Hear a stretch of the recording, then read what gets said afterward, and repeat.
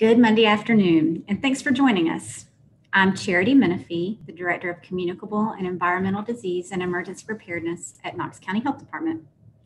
Our moment of gratitude today is dedicated to the many folks in our community who practice the five core principles that we have outlined in our plan while they frequented restaurants and retail businesses over the weekend.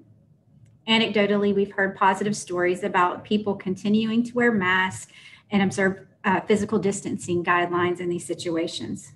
This is our new normal, and we are urging people to continue to be vigilant to slow the spread of disease. So, thank you for all that you are doing.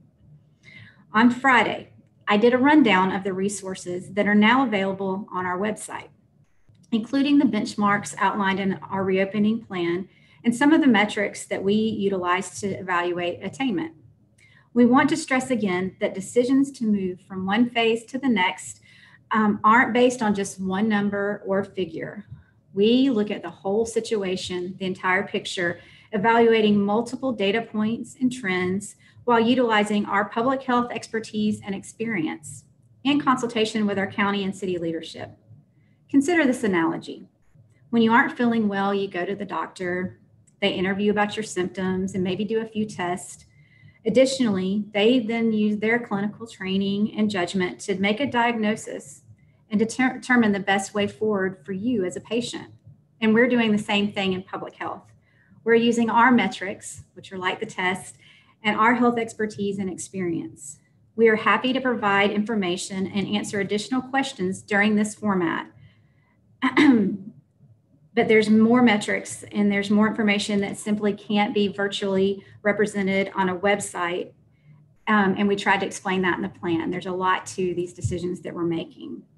So, with that said, we know we're getting a lot of questions on um, how the data and metrics are being interpreted and those types of things. And there will be more information coming out later today to all of you guys in the media on how you can ask those questions and how we can get answers back to you. So, there'll be more coming on that. We know you want to get into those nuances, um, but we're just not sure that this is the best. Um, environment to do that. Um, and I'm probably not the best person to provide that. And it's just very, very detailed and very complicated to explain. And we want to get you the best answers that you can get um, in, a, in a different way. Um, with our benchmarks and the traffic light visuals on our website, know that we're trying to provide answers and information to two groups of people. There's the people that are data lovers and that love all the detail and want to see it. And we hope that's available um, and we use that for them, what's on our website. So all of the different metrics and all of the data that we provide daily and our benchmarks.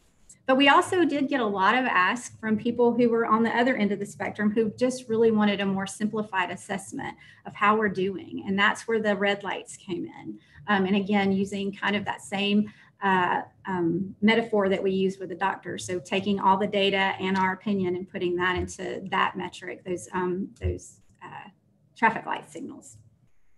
Um, and that's just to explain how we're doing. So moving into our local situation, we have 246 confirmed cases of COVID-19 in Knox County. That is two less than we reported from yesterday. So as a reminder, again, um, like we've been explaining, um, the state gets all of the reports in and that's those reports come to us.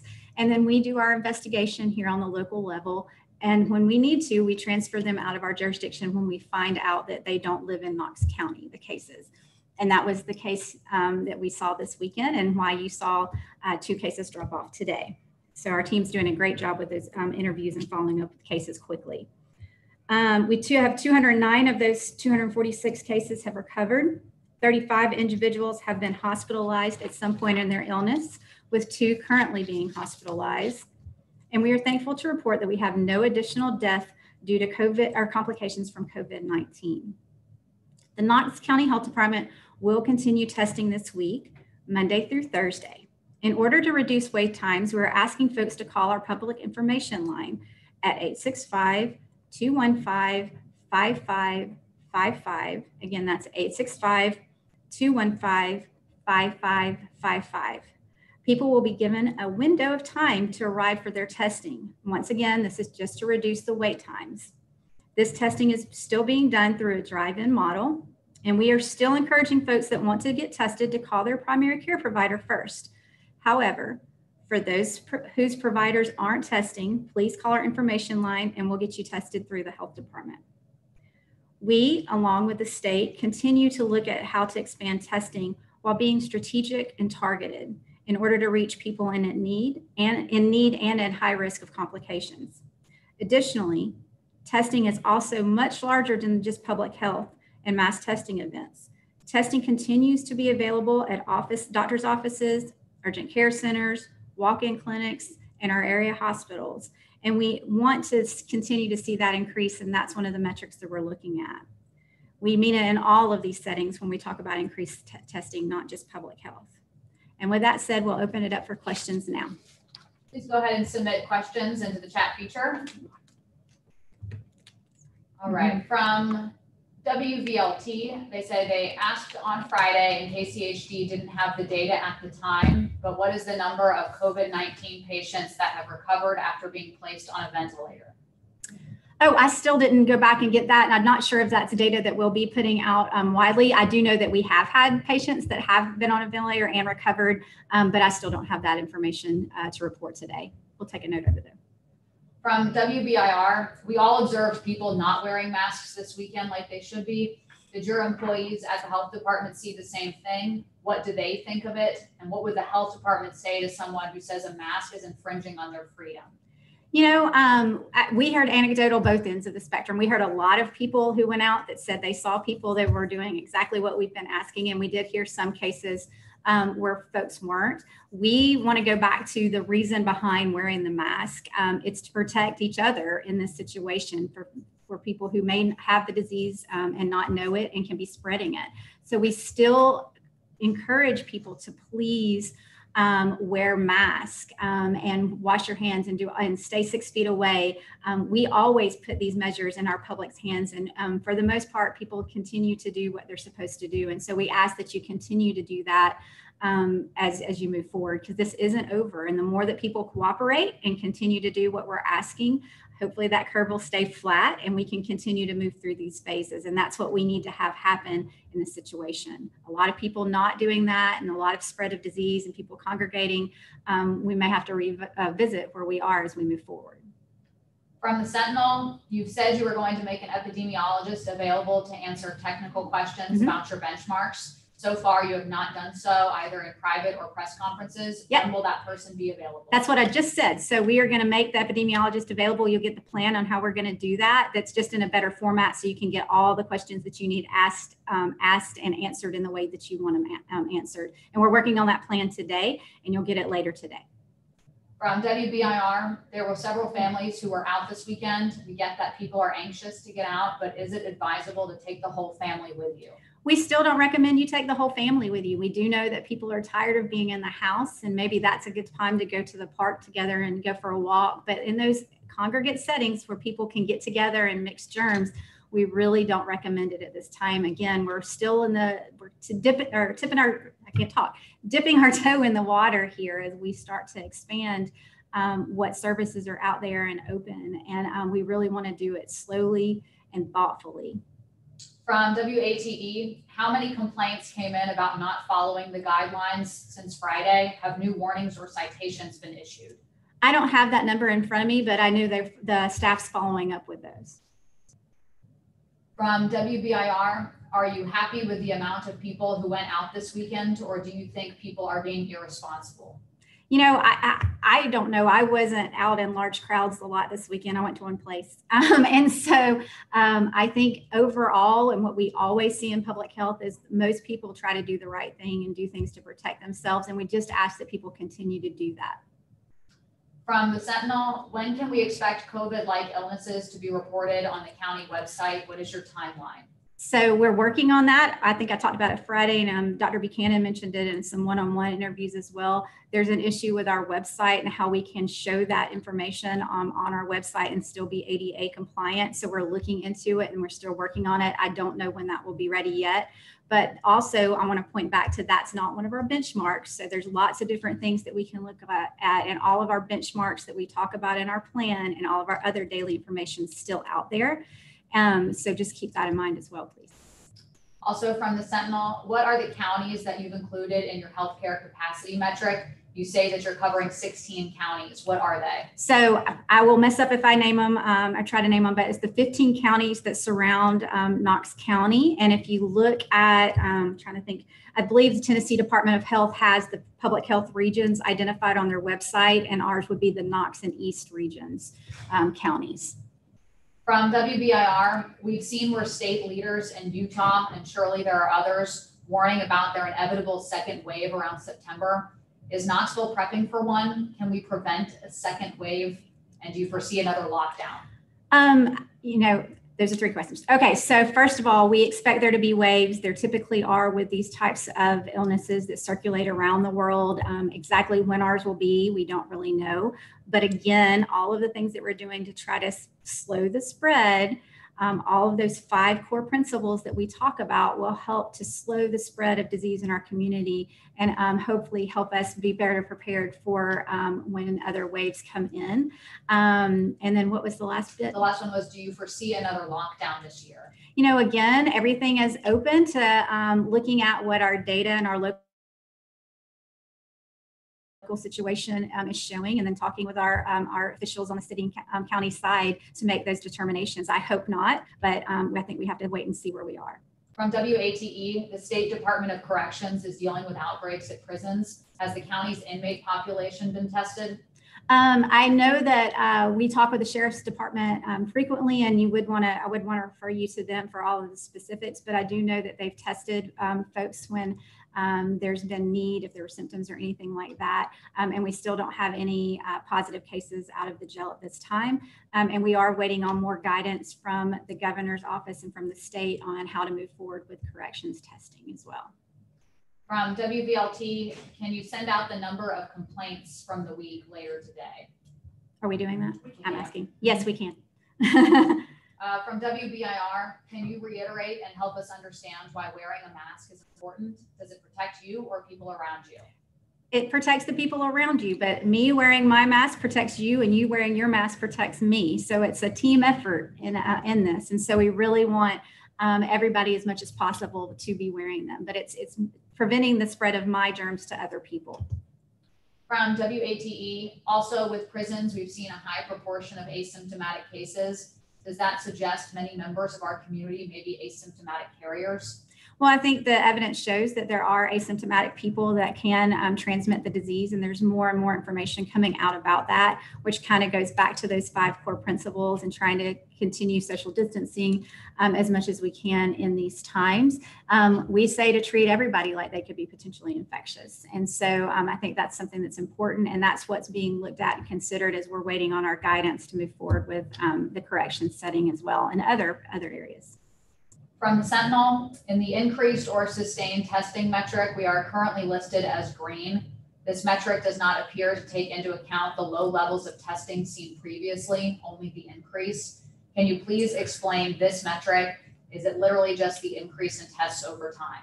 Yeah, I mean, I, and again, we'll be getting more information, and you can talk to our epidemiologist who's working on all of this data, um, and we'll figure out. Um, you'll be able to get questions to them, and we'll get answers to you on this. Um, but it's it is looking at increased testing over time, and it's based on where we are right now.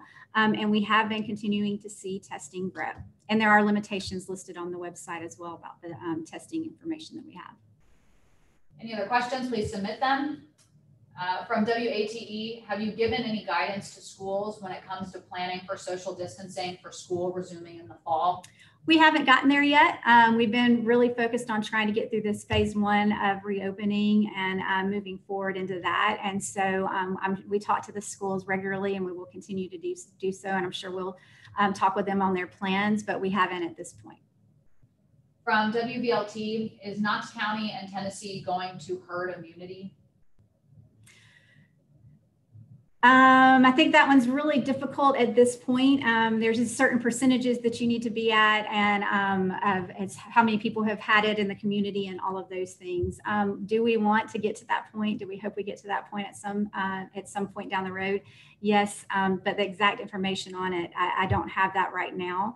Um, we are trying to slow the spread. Um, we don't want to get to herd immunity too quickly because that can mean that our hospitals and healthcare system um, systems get overwhelmed very quickly. And so again, everything we're doing right now is to keep keep us moving in a flat trajectory as much as possible, um, so that we can continue moving forward through the um, opening. From the Sentinel, the health department has been asked several times for the county's effective transmission rate. Where is it and what is it? Where it's not one of the measures we're using. We've talked about this. There's a lot of variables that go into that information. Um, it's not one of our benchmarks. You have a lot of data on our website that we're utilizing to make these decisions, and um, and that, along with the models and those types of things, they're not the benchmarks that we're using um, as we move forward. From WATE, any plans for another remote location mass testing event like the one at the convention center?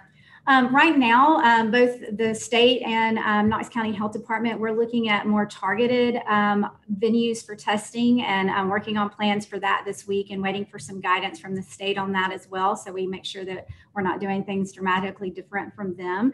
Um, to be honest, in the state's huge testing events and in ours, we just haven't seen um, a lot of positives come out of those. And so we want to be very strategic. Um, positive cases. Sorry, I'm sorry. Thank you. We haven't seen a lot of positive cases. So, you know, out of over 500 we tested one day, I think we had six positives. One person had already been positive, so five new cases. And so we really want um, to make strategic decisions and make sure that we're getting the, to people that are at need and at high risk for complications and working with the state um, on how to do that moving forward. From the Compass, on Friday, Dr. Buchanan's order covered close contact personal service businesses.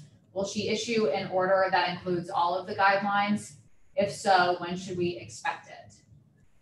We're going to have to see. Um, there did the additional order go out Friday? Because Yes, there was an amendment to the order that went out Friday. Um, and if you didn't receive it, we'll, we'll be happy to resend it. so there was an additional amendment that went out, like Kelsey said, um, and uh, we'll make sure that you get it if you didn't see it. But that was meant to extend us through um, this next phase. Any other questions, please go ahead and submit them. From the Sentinel, the red and yellow statuses are nebulously defined.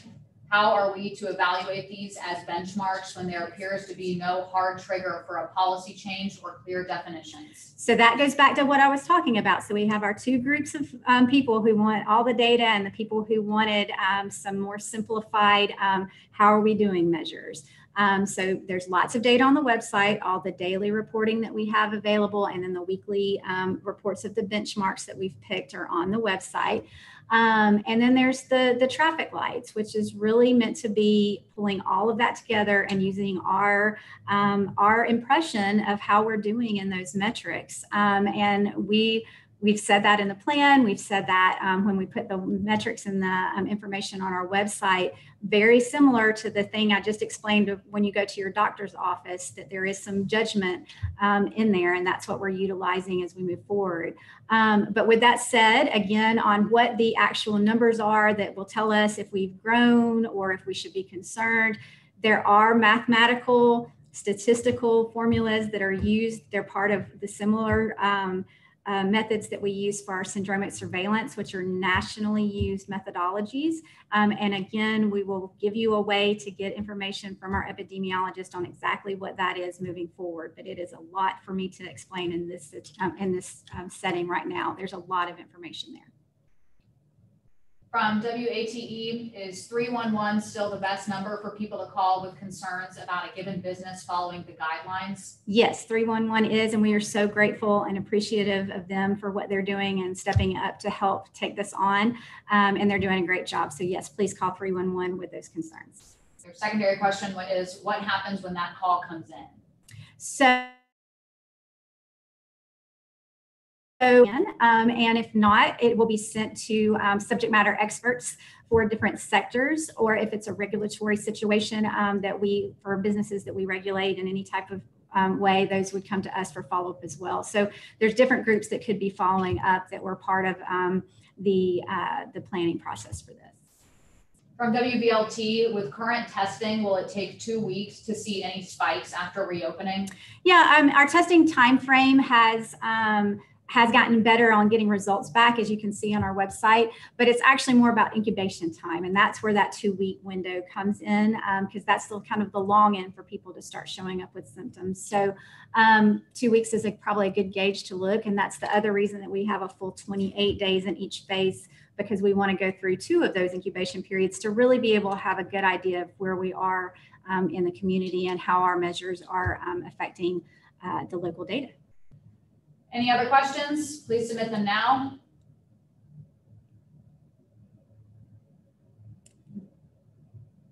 All right, well, thank you all for joining us today. Um, we appreciate you logging in and we will see you tomorrow at twelve thirty. Have a great rest of your day. Thank you.